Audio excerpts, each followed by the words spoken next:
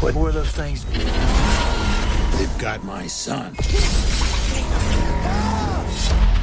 You ready to get your people back?